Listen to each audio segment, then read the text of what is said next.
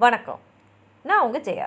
இன்றைக்கி நம்ம இந்த வீடியோவில் ராபின்ஹுட் எப்படி அவருடைய தளபதியான லிட்டில் ஜானை சந்தித்தார்ன்ற கதையை பார்க்கலாம். வாங்க. ராபின்ஹுடோட தளபதி தான் லிட்டில் ஜான். அவரோட பேர் தான் லிட்டில் ஜானை தவிர அவர் ஏழு அடிக்கும் அதிகமான உயரத்தை உடையவர். அது மாத்திரம் இல்லாமல் ராபின்ஹுட் அவர் மேலே ரொம்ப வந்து பிரியமாக இருந்தார். அவர் உயிரியே அவர் மேலே வச்சுருந்தான்னு சொல்லலாம். அதே போல் லிட்டில் ஜானும் வந்து ராபின்ஹுட்டை ரொம்ப மதிச்சார். அவர்கிட்ட வந்து ரொம்ப விசுவாசமாக கடைசி வரைக்கும் ராபின்ஹுடைய உடைய இருந்தார். அது மாத்திரம் இல்லாமல் ராபின்ஹுட் உயிர் பிரியும் போது அவர் தான் கூட இருந்துட்டு அப்புறம் ராபின்ஹுட் என்ன ஆசைப்பட்டாரோ அதே மாதிரி அந்த இடத்துல ராபின்ஹுட்டை புதைச்சவன் இவர் தான் இன்றைக்கும் நம்ம அந்த இடத்துல போய் ராபின்ஹுட் எங்கே புதைச்சாரோ அவரோட கல்லறையை பார்க்க முடியுதுன்னா அது லிட்டில் ஜானால தான் இப்போ இவங்க எப்படி சந்திச்சாங்கன்னா ஒரு நாள் ராபின்ஹுட் வந்து எனக்கு ரொம்ப போர் அடிக்குது. அதனால் நான் தனியாக காட்டுக்குள்ளே வேட்டைக்கு போக போகிறேன் எனக்கு ஏதாவது ஆபத்துனா நான் வந்து இந்த ஹார்னை வந்து ஊதுறேன். நீங்கள் எல்லாம் வந்து எனக்கு ஹெல்ப் பண்ணுங்கன்னு சொல்லிட்டு தனியாக போகிறாரு காட்டில் சுற்றி பார்க்கும்போது அங்கே ஒரு சின்ன அருவி ஓடுது. அந்த அருவிக்கு மேலே ஒரு பிரிட்ஜ் மாதிரி கட்டியிருந்தது ஸோ அந்த பிரிட்ஜை க்ராஸ் பண்ணி அப்படின்னு போயிட்டே இருக்கும்போது அவர் வந்து பிரிட்ஜுக்கு நடுவில் வந்தும்போது அவர் எதிர்க்க இன்னொருத்தர் வந்து நிற்கிறாரு அவர் வந்து எதிர் பக்கத்தில் இருந்திருக்கார். அவரும் வந்து பிரிட்ஜை பாதி கடந்துட்டார்.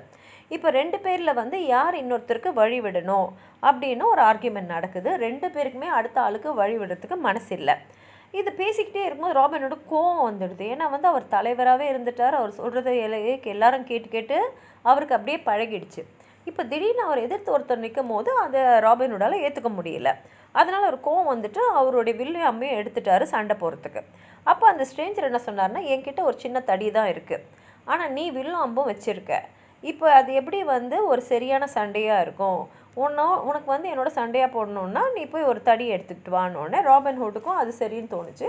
அதனால் அவர்கிட்ட சொன்னார் சரி நீ அப்போ இங்கேயே நில்லு நான் போய் ஒரு தடி எடுத்துகிட்டு வரேன்னு சொல்லிட்டு போய் தேடி பார்த்து ஒரு தடி எடுத்துகிட்டு திரும்பி வராரு. அதுக்கப்புறம் அவங்க ரெண்டு பேரும் எப்படி வந்து முடிவு பண்ணுறாங்கன்னா நம்ம ரெண்டு பேரும் சண்டை போடலாம். ரெண்டு பேரில் யார் முதல்ல வந்து கீழே விழுந்துடுறாங்களோ அருவியில் அவங்க வந்து தோத்தவங்க. யார் வந்து பிரிட்ஜ் மேலேயே பேலன்ஸ் பண்ணி நிற்கிறாங்களோ அவங்க தான் ஜெயிச்சவங்க அப்படின்னு சொன்னோன்னே ரெண்டு பேரும் அதை கொத்துக்கிட்டு சண்டை போட ஆரம்பிக்கிறாங்க. முதல் முதல்ல அடிக்கிறது ராபின் ஹுட் அதோ அது ஒரு எப்படி அடிக்கிறாருன்னா அடித்து அடியிலேயே அப்படியே மூளை கலங்குற மாதிரி அந்த ஸ்ட்ரேஞ்சரை போட்டு அடிக்கிறாரு. ஆனால் வந்து அந்த ஸ்ட்ரேஞ்சரும் திரும்பி ராபனோட நல்லா அடிக்கிறாங்க. ஒரு அறுவடை செஞ்ச நெல்லை வந்து அந்த கதிரில் எப்படி அடிப்பாங்களோ அந்த மாதிரி ஒருத்தர் ஒருத்தர் அப்படி அடிச்சுக்கிறாங்க. அதுக்கப்புறம் என்ன ஆயிடுதுன்னா அந்த ஸ்ட்ரேஞ்சர் ராபின்வுட் தலையிலே ஒரு அடி அடிக்கிறாரு. அவர் அடித்த அடியில் ரத்தம் அப்படியே வழியுது. உடனே ராபின்வுட்டுக்கு ரொம்ப கோவம் வந்துட்டு அவர் வந்து ஸ்ட்ரேஞ்சரை பயங்கரமாக தாக்குறாரு. ஆனால் இந்த ஸ்ட்ரேஞ்சர் அவர் ஏற்கனவே ஏழு அடிக்கு மேலே. அதனால் அவர் பயங்கரமாக அடித்த உடனே ராபின்வுட்டால் பேலன்ஸ் பண்ண முடியாமல் அவர் தலையும் அடிபட்டிருக்கு. அவர் வந்து அருவியில் கீழே விழுந்துறாரு. அதை பார்த்தோன்னே அந்த ஸ்ட்ரேஞ்சர் வந்து சிரிப்பு வந்துடுது. சிரிச்சுக்கிட்டே கேட்குறாரு இப்போ யார் வந்து வின் பண்ணான்னு சொல்லணுன்னு ராபின்வுட் சொல்கிறாரு நீ தான் வின் பண்ண. ஏன்னா நான் தான் கீழே விழுந்துட்டேன்னு சொல்லிட்டு அவர் அந்த ஹார்னை எடுத்து அவரை வந்து ஊதுறாரு. அந்த ஹார்ன் ஊதுற சத்தம் கேட்ட உடனே அவருடைய ஐம்பது போ ஆளுங்களும் வந்து அடியாட்களும் வந்து அவங்க சேர்ந்துடுறாங்க அந்த இடத்துல. அவங்களுக்கு தலைவர் மாதிரி இருக்கிற வில்லியம் ஸ்டக்டின்றவர் ராபின்ஹுட் ஃபுல்லாக நனைஞ்சிருக்கிறத பார்க்குறாரு பார்த்துட்டு கேட்குறாரு என்ன இப்படி நனைஞ்சிருக்கீங்களோன்னு ராபின்ஹுட் சொல்கிறாரு இங்கே நிற்கிறாரு இவர் தான் என்னை வந்து இந்த அருவியில் கீழே தள்ளி விட்டாருன்னு சொன்ன உடனே எல்லாரும் போய் அவரை பிடிச்சிட்டு அந்த ஸ்ட்ரேஞ்சரை வந்து அந்த தண்ணியில் முக்கி எடுக்கிறதுக்காக இழுக்க பார்க்குறாங்க. அப்போ ராபின்ஹுட் சொல்லிடுறாரு இல்லை இல்லை. இந்த மாதிரி நீங்கள் அவரை செய்யக்கூடாது. ஏன்னா அவரோட என்னுடைய நண்பர் அப்படின்னு சொல்லிட்டு. அப்புறம் அந்த ஸ்ட்ரேஞ்சர்கிட்ட வந்து சொல்கிறாரு இவங்கெல்லாம் என்னை சேர்ந்தவங்க தான். நீயும் வந்து என் என்னை சேர்ந்தவனா நீ என் கூட சேர்ந்துட்டீன்னா நான் உன்னை நல்லபடியாக வச்சுப்பேன். உனக்கு இஷ்டமா? அப்படின்னு கேட்ட உடனே அந்த ஸ்ட்ரேஞ்சருக்கும் ரொம்ப சந்தோஷமாயிட்டு அவர் சொல்கிறாரு உன்ன மாதிரி ஒரு வீரனோடு இருக்கிறது எனக்கும் சந்தோஷம்தான் சொல்லிட்டு அவர் பேர் வந்து ஜான் லிட்டில்னு அவர் அறிமுகப்படுத்திக்கிறாரு.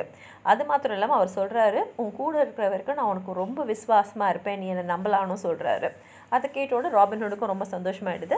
அதுக்கப்புறம் வில்லியம் ஸ்டக்டி சொல்கிறாரு இல்லை இல்லை உன் பேர் ஜான் லிட்டிலாக இருந்தாலும் நாங்கள் உன்னை லிட்டில் ஜான் தான் கூப்பிடுவோம். இன்னிலேருந்து நான் தான் உனக்கு காட் ஃபாதர் நான் உனக்கு எல்லாமே சொல்லித்தரேன் அப்படின்னு சொல்லிட்டு நல்ல ஒரு பெரிய மானை வந்து வேட்டையாடி கொண்டு வராங்க.